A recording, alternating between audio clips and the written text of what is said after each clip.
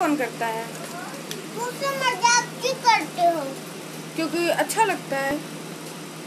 आप कभी आने आने क्यों? क्योंकि मज़ाक करते हो ना। तुम तो तुम छोटे से बच्चे हो ना इसलिए तो मज़ाक करते हैं। छोटे बच्चों से सब मज़ाक करते हैं।